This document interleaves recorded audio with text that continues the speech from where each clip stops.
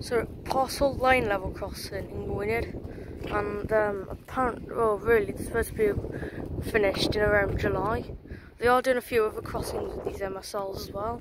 They're doing K Daniel 1 and K Daniel 2 crossing and I think they're doing one in Feb but I'm not really sure what the name of it is. It's around like, I don't know, like a, a horse stable or something and it's got like MSLs and it was not the MSLs, just got the pole yeah, put plastic bags over these phones. Well, this, oh, looks like this one has got a lot of air in it.